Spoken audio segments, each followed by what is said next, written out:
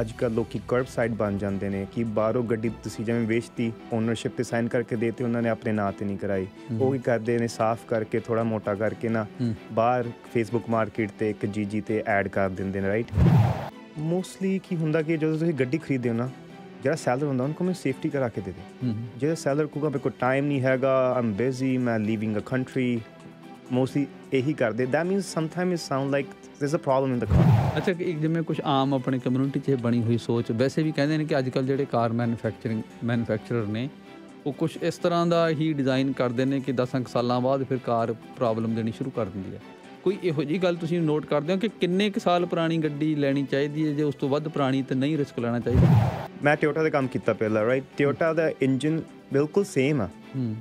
From older to newer one right ਉਹਨਾਂ ਨੇ ਕੀ ਕੀਤਾ? ਮਾਰਕੀਟਿੰਗ ਬਣਾਉਣ ਲਈ ਲਾਈਕ ਪਹਿਲਾਂ 8000 ਤੇ ਆਇਲ ਚੇਂਜ ਹੁੰਦਾ ਸੀ right so they start doing at 16000 ਹੂੰ when is you're young like ਆਪਾਂ young ਹੁੰਦੇ ਆ right so ਵੀ ਆਪਣਾ ਇੰਜਨ ਤੇਜ਼ ਚੱਲਦਾ right but later on 100000 ਤੇ ਇੰਜਨ ਪ੍ਰੋਬਲਮ ਦੇਣਾ ਸ਼ੁਰੂ ਕਰ ਦਿੰਦਾ so out they out of warranty after that ਕਿਹੜੀ ਗੱਡੀ ਦੀ ਕਹਿੰਦੇ ਰੀਸੇਲ ਵੈਲਿਊ ਸਭ ਤੋਂ ਜ਼ਿਆਦਾ Toyota there's nothing like that ਵੀ ਤੁਸੀਂ ਵੀ 10 ਸਾਲ ਪੁਰਾਣੀ ਗੱਡੀ ਨਾ ਲਓ like 20 ਸਾਲ ਨਾ ਲਓ I have myself 90 76 Mustangs driving great ਹਾਂ ਆਪਣੇ ਆਪ ਵੀ ਅਸੀਂ ਕਈ ਵਾਰ ਲੱਗ ਜਾਂਦੇ ਆ ਇਧਰ ਉਧਰ ਦੀ ਸੁਣ ਕੇ।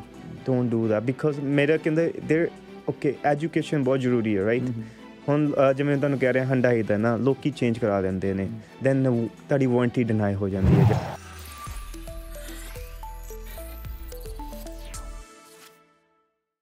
ਯੂਜ਼ਡ ਕਾਰ ਖਰੀਦਣ ਵੇਲੇ ਬਹੁਤ ਸਾਰੀਆਂ ਗੱਲਾਂ ਨੇ ਜਿਨ੍ਹਾਂ ਦਾ ਧਿਆਨ ਰੱਖਣਾ ਪੈਂਦਾ।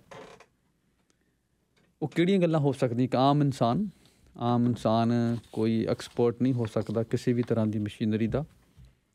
ਸਿੰਪਲ ਸੈੱਲ ਫੋਨ ਤੋਂ ਲੈਣ ਤੋਂ ਲੈ ਕੇ ਕਾਰ ਲੈਣ ਤੱਕ ਬਹੁਤ ਕੁਝ ਇਹੋ ਜਿਹਾ ਜਿਹੜਾ ਇੱਕ ਆਮ ਇਨਸਾਨ ਨੂੰ ਨਹੀਂ ਸਮਝ ਆ ਸਕਦਾ। ਸੋ ਪਰ ਕੁਝ ਕਾਮਨ ਗੱਲਾਂ ਜਿਹੜੀਆਂ ਜਿਹੜੀਆਂ ਹਰ ਕਿਸੇ ਦੇ ਫਾਇਦੇ 'ਚ ਹੋ ਸਕਦੀਆਂ, ਉਹਨਾਂ ਬਾਰੇ ਅਸੀਂ ਗੱਲਬਾਤ ਕਰਾਂਗੇ, ਖਾਸ ਕਰਕੇ ਜਦੋਂ ਯੂਜ਼ਡ ਕਾਰ ਤੁਸੀਂ ਖਰੀਦਣੀ ਹੈ। ਕਿਹੋ ਕਿਹੋ ਜਿਹੇ ਉਹਦੇ 'ਚ ਰਿਸਕ ਹੋ ਸਕਦੇ ਨੇ? ਕਿਹਨਾਂ ਗੱਲਾਂ ਬ- ਦਾ ਸਾਨੂੰ ਧਿਆਨ ਰੱਖਣਾ ਚਾਹੀਦਾ? ਕਿਵੇਂ ਅਸੀਂ ਕਿਸੇ ਧੋਖੇ ਤੋਂ ਬਚ ਸਕਦੇ ਹਾਂ? ਕੋਈ ਬੈਟਰ ਡੀਲ ਅਸੀਂ ਬਣਾ ਸਕਦੇ ਹਾਂ? ਇਹਦੇ ਬਾਰੇ ਅਸੀਂ ਗੱਲਬਾਤ ਕਰਾਂਗੇ ਤੇ ਸਾਡੇ ਨਾਲ ਅੱਜ ਜਿਹੜੇ ਗੈਸਟ ਨੇ ਬਹੁਤ ਹੀ ਯੰਗ ਸੁਨੀਲ ਸੁਨੀਲ ਗ- ਸਾਹਿਲ ਗਰੋਵਰ, ਜਿਹੜੇ ਕਿ ਇਹਨਾਂ ਦੇ, ਇਹਨਾਂ ਨੂੰ ਬਹੁਤ ਪੈਸ਼ਨ ਹੈ। ਪੈਸ਼ਨੇਟ ਕਾਰ ਮਕੈਨਿਕ ਨੇ। ਤੇ ਆਪਣੇ ਐਕਸਪੀਰੀਅੰਸ ਚੋਂ ਕੁਝ ਗੱਲਾਂ ਸਾਡੇ ਨਾਲ ਸ਼ੇਅਰ ਕਰਨਗੇ। ਸਤਿ ਸ਼੍ਰੀ ਅਕਾਲ. ਜੀ। ਤੇ ਸਾਹਿਲ ਇਹ ਮ,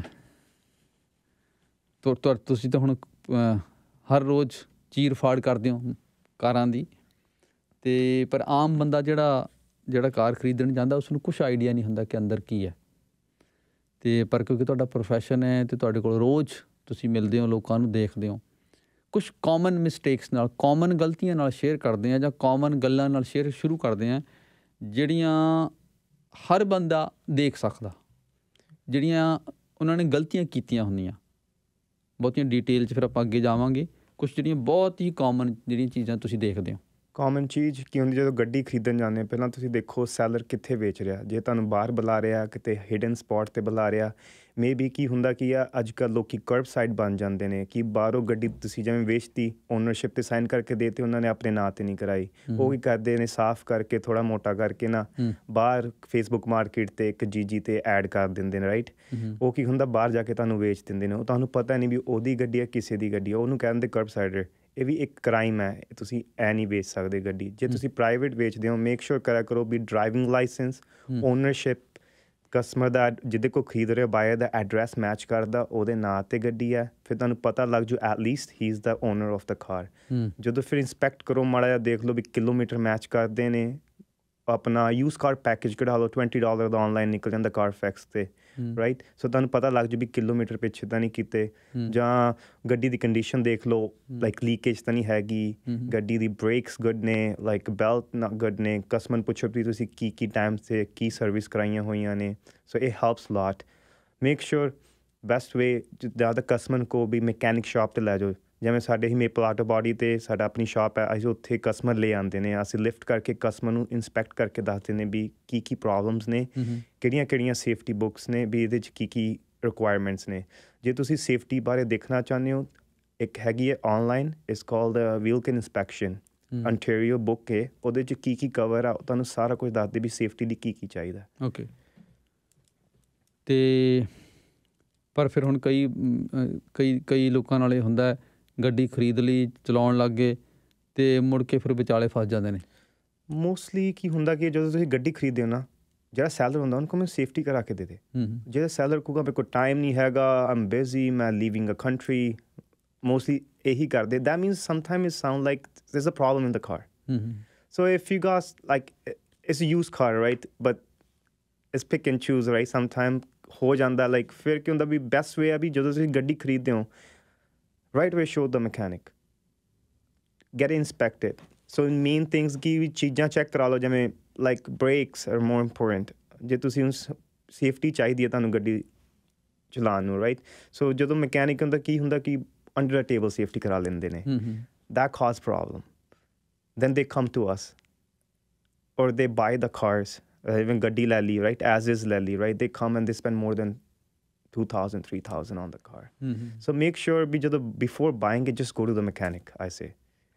ਅੱਛਾ ਕਿ ਇੱਕ ਜਿਵੇਂ ਕੁਝ ਆਮ ਆਪਣੀ ਕਮਿਊਨਿਟੀ 'ਚ ਬਣੀ ਹੋਈ ਸੋਚ ਵੈਸੇ ਵੀ ਕਹਿੰਦੇ ਨੇ ਕਿ ਅੱਜ ਕੱਲ ਜਿਹੜੇ ਕਾਰ ਮੈਨੂਫੈਕਚਰਿੰਗ ਮੈਨੂਫੈਕਚਰਰ ਨੇ ਉਹ ਕੁਝ ਇਸ ਤਰ੍ਹਾਂ ਦਾ ਹੀ ਡਿਜ਼ਾਈਨ ਕਰਦੇ ਨੇ ਕਿ 10 ਕੁ ਸਾਲਾਂ ਬਾਅਦ ਫਿਰ ਕਾਰ ਪ੍ਰੋਬਲਮ ਦੇਣੀ ਸ਼ੁਰੂ ਕਰ ਦਿੰਦੀ ਹੈ ਕੋਈ ਇਹੋ ਜੀ ਗੱਲ ਤੁਸੀਂ ਨੋਟ ਕਰਦੇ ਹੋ ਕਿ ਕਿੰਨੇ ਕੁ ਸਾਲ ਪੁਰਾਣੀ ਗੱਡੀ ਲੈਣੀ ਚਾਹੀਦੀ ਹੈ ਜੇ ਉਸ ਤੋਂ ਵੱਧ ਪੁਰਾਣੀ ਤੇ ਨਹੀਂ ਰਿਸਕ ਲੈਣਾ ਚਾਹੀਦਾ the ਅੱਗੇ ਜਿਵੇਂ ਹੁਣ ਕੀ ਆ ਜਿਵੇਂ Volkswagen ਆ ਗਿਆ ਜਿਵੇਂ RAV4 ਆ ਗਿਆ ਰਾਈਟ ਮੈਂ ਟੋਯੋਟਾ ਦੇ ਕੰਮ ਕੀਤਾ ਪਹਿਲਾਂ ਰਾਈਟ ਟੋਯੋਟਾ ਦਾ ਇੰਜਨ ਬਿਲਕੁਲ ਸੇਮ ਆ। ਹੂੰ।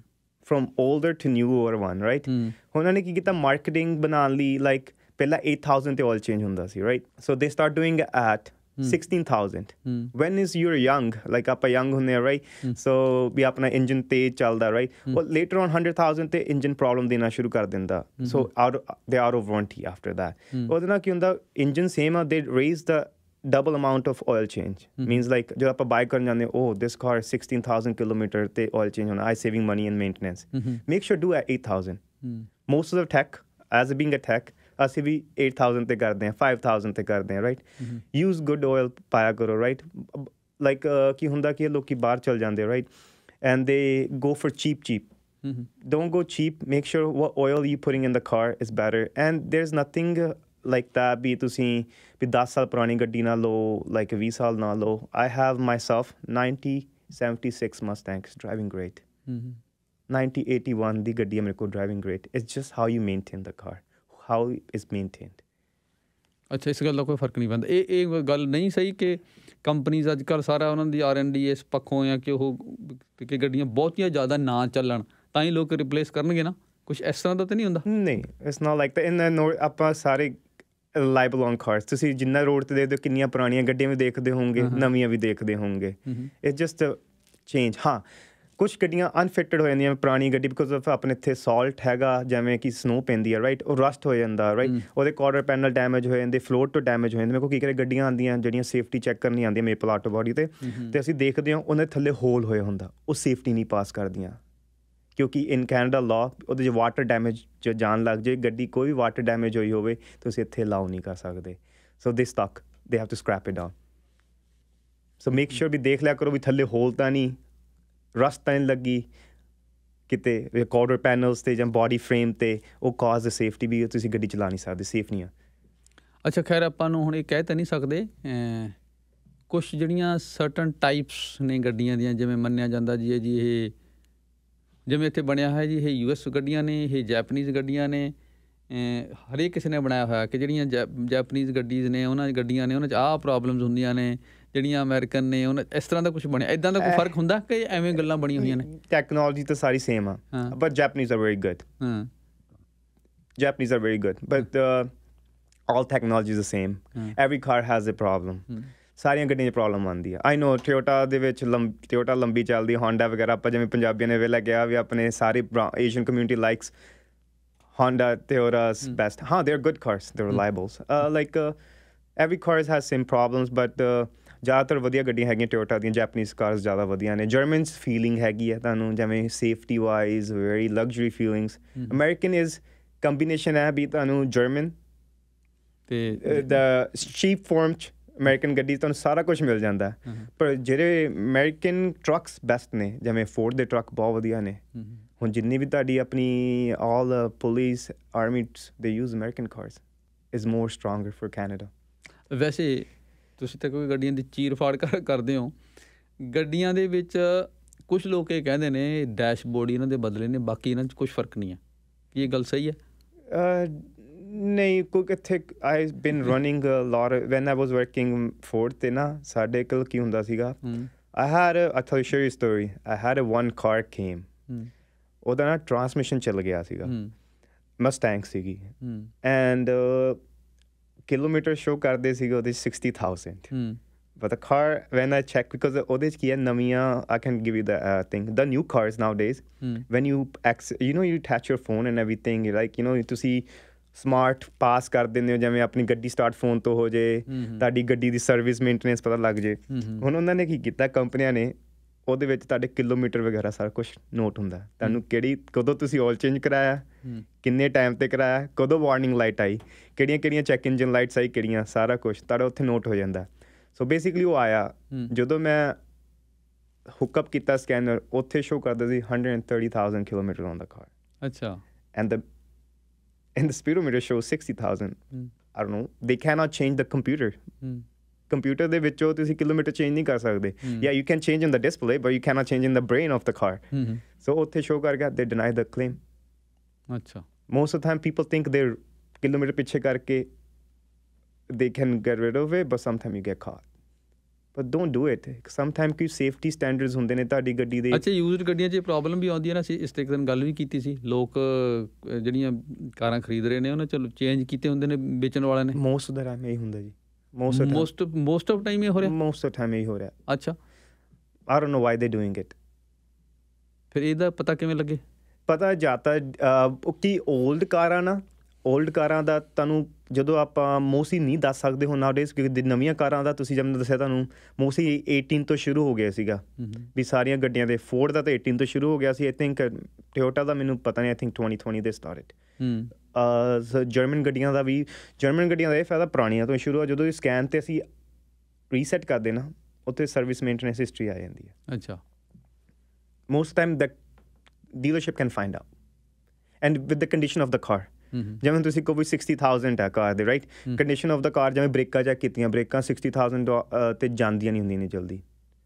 ਰਫਲੀ ਜਾਂਦੀਆਂ ਨਹੀਂ ਰਾਈਟ ਐਂਡ ਕਲਰ ਜਿਵੇਂ ਰਸ ਨਹੀਂ ਲੱਗਣੀ ਗੱਡੀ ਨੂੰ ਪਰ ਕੰਪੇਅਰ ਹੋ ਜਾਂਦਾ ਬੰਦੇ ਨੂੰ ਮੋਸਟਲੀ ਚੈੱਕ ਕਰ ਲੈਂਦਾ ਬਾਹਰੋਂ ਆਊਟਰੀਚ ਅੱਛਾ। ਹਾਊ ਦੇ ਲੁੱਕ ਤੇ ਸਾਹਿਲ ਕੁਝ ਮੇਰੇ ਕੋਲ ਸਵਾਲ ਵੀ ਆ ਰਹੇ ਨੇ ਤੇ ਇੱਕ ਹੈਗਾ ਕਿ ਜਿਹੜੇ ਆਇਲ ਹੈ ਅਹ 0W16 ਤੇ 0W20 ਇਹਦੇ 'ਚ ਫ਼ਰਕ ਕੀ ਹੈ ਥਿਕਨੈਸ ਪਤਲਾ।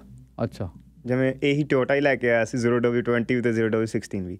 ਇਹ ਥਿਕਨੈਸ ਆ ਗੇਅਰ ਨੂੰ ਚਲਾਉਣ ਨੂੰ ਜਿਵੇਂ ਪਹਿਲਾਂ 5W30 ਸੀ ਥਿਕ ਤੇਲ ਆ ਰਹੇ ਨੇ ਹੁਣ ਪਤਲਾ ਪਤਲਾ ਕਰ ਰਹੇ ਨੇ ਉਹਦੀ ਥਿਕਨੈਸ ਜਦੀ ਲੂਬਰੀਕੈਂਟ ਪਤਲਾ ਹੋ ਜਾਵੇ ਤਾਂ ਵਧੀਆ ਘੁੰਮੇ ਉਹਦੇ ਚ। ਥਿਕਨੈਸ ਹੁੰਦੀਆਂ ਸਾਰੇ ਗ੍ਰੇਡਸ ਦੀਆਂ। ਤੇ ਤੁਸੀਂ ਰეკਮੈਂਡ ਕੀ ਕਰਦੇ ਹੋ?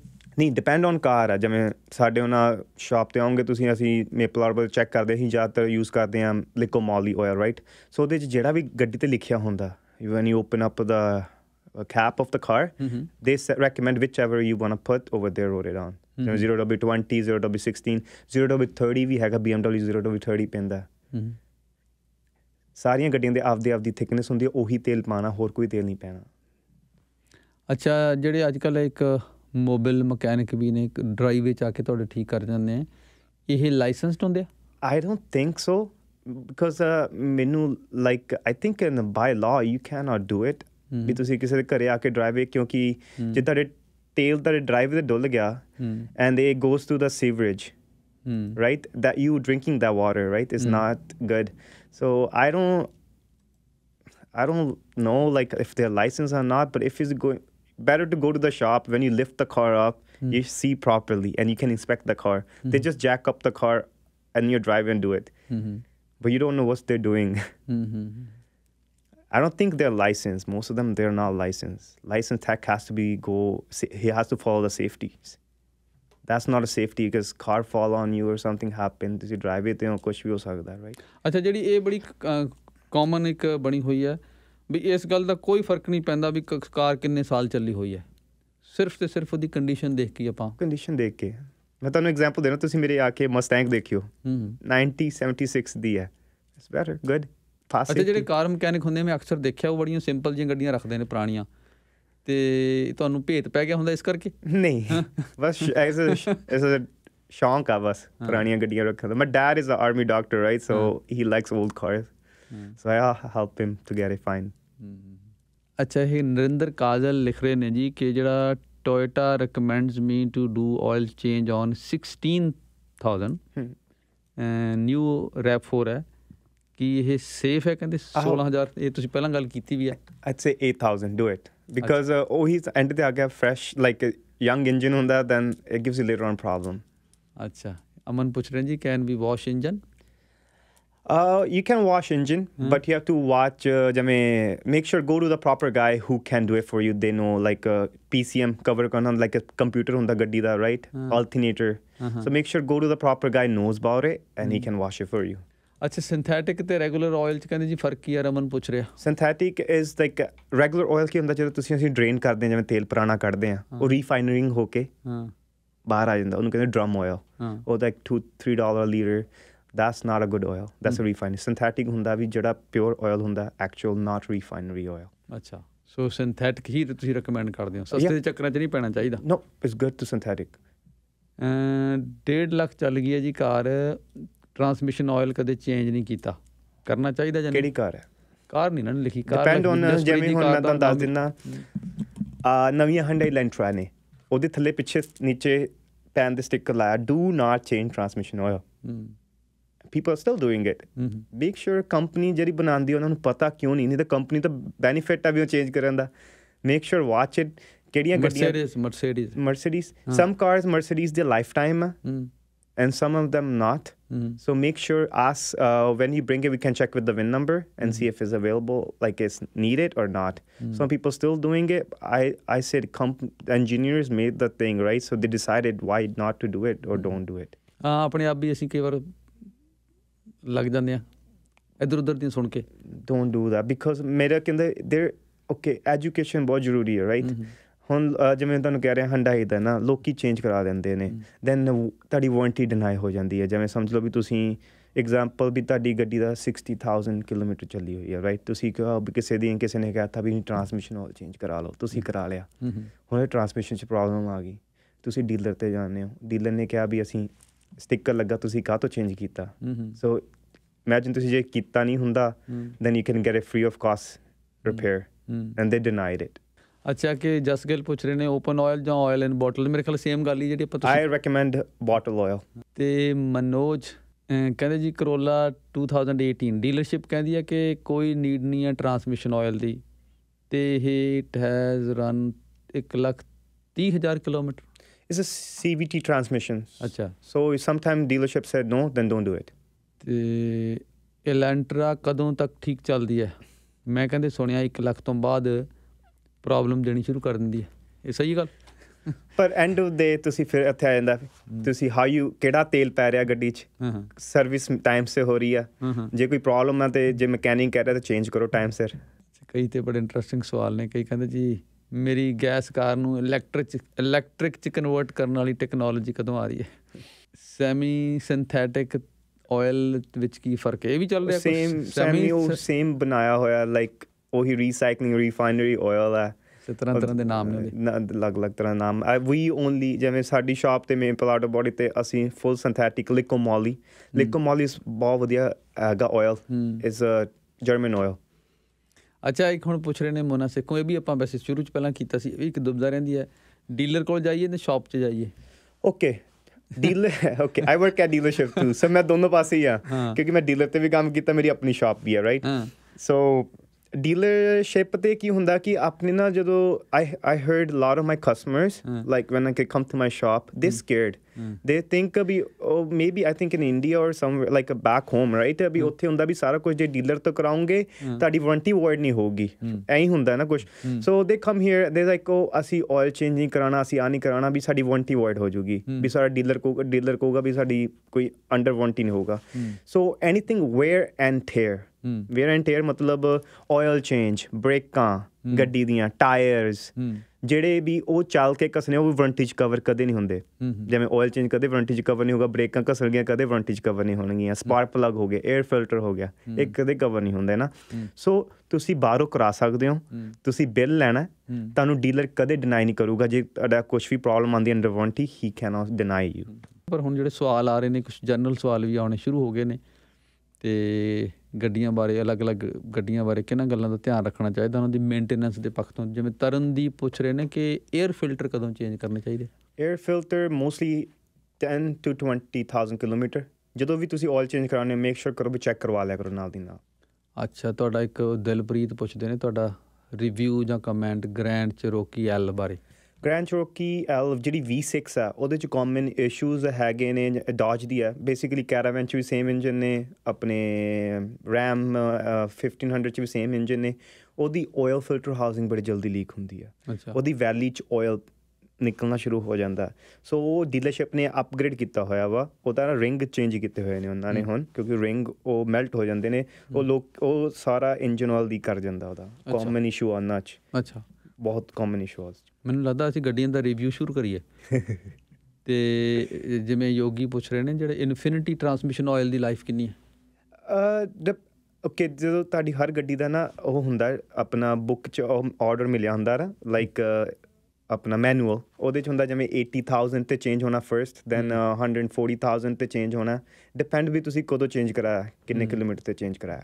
ਵੈਸੇ ਦੇਖੋ ਕਈ ਸਿਆਣੇ ਬੰਦੇ ਨੇ ਇਹਨਾਂ ਦਾ ਮੈਸੇਜ ਹੈ ਇਹਨਾਂ ਨੇ ਨਾਮ ਨਹੀਂ ਲਿਖਿਆ ਆਪਣਾ 9927 ਕਿ ਮੈਂ ਹਮੇਸ਼ਾ ਨਵੀਂ ਕਾਰ ਖਰੀਦਦਾ ਖੁਦ ਕਹਿੰਦੇ ਮੈਂ ਆਇਲ ਚੇਂਜ ਕਰਦਾ। ਹਰ ਸਾਲ ਮੈਂ 15 ਸਾਲ ਜਿਹੜੀ ਹੈ ਰੱਖੀ ਹੈ ਤੇ ਟਾਈਮ ਤੇ ਆਇਲ ਚੇਂਜ ਕਰਦਾ ਤੇ ਸਾਰੇ ਬ੍ਰਾਂਡ ਕੋਲ ਨੇ ਕਹਿੰਦੇ। ਕੁਝ ਜੇ ਧਿਆਨ ਰੱਖਿਆ ਜਾਏ ਤੇ ਸਾਰੀਆਂ ਠੀਕ ਨੇ। ਹਾਂਜੀ। That's what I was saying ਸਾਰ ਵੀ ਮੇਨਟੇਨੈਂਸ ਟਾਈਮ ਸਿਰ ਕੀਤੀ ਜਾਵੇ ਤਾਂ ਐਵਰੀਥਿੰਗ ਇਜ਼ ਗੁੱਡ ਅੱਛਾ ਇੱਕ ਹੁਣ ਸਵਾਲ ਆ ਰਿਹਾ ਜੀ ਗੁਰਿੰਦਰ ਦਾ ਕਿ is there any use to get the brakes and clippers cleaned and serviced by the dealer basically he's trying to say brake service ਹਾਂ brake service is good ਜਿਵੇਂ 20 ਯਾਰ 20 ਯਾਰ 30 ਯਾਰ ਕਿਲੋਮੀਟਰ ਤੇ ਕਰਾ ਲਿਆ ਕਰੋ ਵੀ ਬ੍ਰੇਕਸ ਦੀ ਲਾਈਫ ਗਰੀਸਿੰਗ ਹੋ ਜਾਂਦੀ ਇੱਕ ਬ੍ਰੇਕਸ ਨੂੰ ਹੂੰ ਹੂੰ ਇੱਕ ਥੋੜੀਆਂ ਲੰਬੀਆਂ ਚੱਲਦੀਆਂ ਨੇ ਬ੍ਰੇਕਾਂ 90 ਤੁਸੀਂ ਦੱਸ ਰਹੇ ਸੀ ਆਪਣੀ ਮਸਟੈਂਗ 1976 ਵਾਲੀ ਹਾਂਜੀ ਅੱਛਾ ਉਹ ਕਹਿੰਦੇ ਕਿੱਥੋਂ ਲਈ ਲਈ ਤੁਸੀਂ it's very uh with um ਮੇਰੇ my dad father day gift I give my dad ਅੱਛਾ so I went me and my buddy uh, we went all the way up to Kingston it was an army guy ਹਾਂ his grandfather gave it to his grandson but he doesn't want to drive it he doesn't know the value of the car so I picked it up from him ਹੂੰ ਹੂੰ ਹੂੰ ਅੱਛਾ ਹੁਣ ਇੱਕ ਆਖਰੀ ਸਵਾਲ ਹੀ ਹੈ ਜੀ ਇਹ ਕਿਹੜੀ ਗੱਡੀ ਦੀ ਕਹਿੰਦੇ ਰੀਸੇਲ ਵੈਲਿਊ ਸਭ ਤੋਂ ਜ਼ਿਆਦਾ Toyota Toyota is the one Toyota and Honda all the time all the time ਆਪਣੇ ਬੰਦੇ ਤਾਂ ਫਿਰ ਇਹੀ ਦੇ- ਦੇਖ ਕੇ ਲੈਂਦੇ ਹੁੰਦੇ ਨੇ ਵੀ ਇਹ ਇਹਦੀ ਰੀਸੇਲ ਅੱਛੀ ਹੋ ਜਾਂਦੀ ਹੈ value fuel economy ਹਾਂ fuel economy ਚ ਵਧੀਆ best that Toyota's cars are very good cars ਪਰ ਚੋਰੀਆਂ 'ਚ ਵੀ ਸਭ ਤੋਂ ਵੱਧ ਹੁੰਦੀਆਂ yeah ਕੋਈ ਵੀ ਕਾਰ ਚੋਰੀ ਕਰ ਲੈਂਦੇ ਅੱਜ ਕੱਲ ਤਾਂ। ਸਾਡੀ ਸ਼ਾਪ ਤੇ ਕੀ ਕਿ ਲਾਸਟ ਵੀਕ ਆਲਮੋਸਟ 7 ਕਾਰ ਆਈਆਂ ਵੀ ਸ਼ੀਸ਼ੇ ਤੋੜਤੇ ਉਹਨਾਂ ਦੇ। ਹਾਂ। ਨਵੀਆਂ ਕਾਰਾਂ ਦੇ ਉਹ ਚੋਂ ਕਦੇ ਵਾਲਟ ਕੱਢ ਲਿਆ ਕਿਸੇ ਦਾ ਕਿਸੇ ਦਾ ਕੁਝ ਕੱਢ ਲਿਆ ਵੀ ਸ਼ੀਸ਼ੇ ਤੋੜਤੇ। ਅੱਛਾ ਇਹ ਕੰਮ ਵੀ ਕਾਫੀ ਵੱਧ ਗਿਆ। ਵੱਧ ਗਿਆ। ਬਹੁਤ ਆਂਦੀਆਂ ਗੱਡੀਆਂ ਐਵੇਂ ਦੀਆਂ। ਇਹ ਨਵਾਂ ਕ੍ਰਾਈਮ ਹੈ। ਹਾਲੇ ਬਹੁਤਾ ਰਿਪੋਰਟ ਨਹੀਂ ਹੋ ਰਿਹਾ ਇਹ। ਹਾਂ ਲਾਈਕ ਮੀਡੀਆ 'ਚ ਨਹੀਂ ਆਉਂਦਾ ਇਹ। ਮੇਰੇ ਕੋਲ 올ਡ ਕਪਲ ਸੀਗੇ ਉਹਨਾਂ ਦੀ ਸੀਗੀ I think 2015 or 16 the Elantra they just left the old phone like um, and they break the glass and they take it ਇਹ ਕਾਫੀ ਇਨਸੀਡੈਂਟਸ ਹੋ ਰਹੀਆਂ i think yeah ਔਰ ਇਹ ਕਮਾਲ ਦੀ ਗੱਲ ਹੈ ਕਿ ਹਾਲੇ ਤੱਕ ਇਹਦੀਆਂ ਖਬਰਾਂ ਨਹੀਂ ਆਈ- ਆਈਆਂ. ਕਿਉਂਕਿ ਇਹ ਇੰਨੀ ਛੋਟੀ ਛੋਟੀਆਂ ਗੱਲਾਂ ਰਿਪੋਰਟ ਨਹੀਂ ਹੁੰਦੀਆਂ ਹਾਂ, ਕਿਉਂਕਿ ਅਸੀਂ ਜ਼ਿਆਦਾਤਰ ਕਿਉਂਕਿ ਸਾਡੇ ਕੋਲ ਜ਼ਿਆਦਾਤਰ ਇੰਸ਼ੋਰੈਂਸ ਥਰੂ ਆਉਂਦੀ ਹੈ ਸ਼ਾਪ ਤੇ ਮੇਪਲ ਤੇ ਤੇ ਉਦੋਂ ਹੀ ਇਹ ਜ਼ਿਆਦਾਤਰ ਇਨਸੀਡੈਂਟਸ ਹੁੰਦੇ ਨੇ ਸਾਡੇ ਕੋਲ ਥੈਂਕ ਯੂ ਸਾਹਿਲ ਬਹੁਤ ਅੱਛਾ ਲੱਗਿਆ ਤੁਹਾਡੇ ਨਾਲ ਗੱਲਾਂ ਕਰਕੇ ਮੈਸੇਜ ਤਾਂ ਮੇਰੇ ਕੋਲ ਬਹੁਤ ਆ ਰਹੇ ਨੇ ਤੇ ਮੈਂ ਇਹ ਰਿਅਲਾਈਜ਼ ਕਰ ਰਿਹਾ ਕਿ ਕਾਰਾਂ ਬਾਰੇ ਇਨਫੋਰਮੇਸ਼ਨ ਦੀ ਵੀ ਬੜੀ ਭੁੱਖ ਹੈ ਤੇ ਲਿਸਨਰ ਦੇ ਵਿੱਚ ਤੇ ਮੇਬੀ ਅਸੀਂ ਇਸ ਚੀਜ਼ ਨੂੰ ਮੈਂ ਰਿਅਲਾਈਜ਼ ਕੀਤਾ ਕਿ ਕਾਫੀ ਲੋਕਾਂ ਨੂੰ ਇਸ ਬਾਰੇ ਇਨਫੋਰਮੇਸ਼ਨ ਦੀ ਜ਼ਰੂਰਤ ਹੁੰਦੀ ਹੈ। ਬਹੁਤ ਬਹੁਤ ਤੁਹਾਡਾ ਸ਼ੁਕਰੀਆ। Thank you